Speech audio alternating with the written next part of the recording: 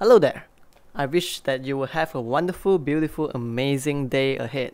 So once again, if what we do here is helpful to you, please help us by leaving a like, comment, subscribe, as well as share the video with your friends. Thank you.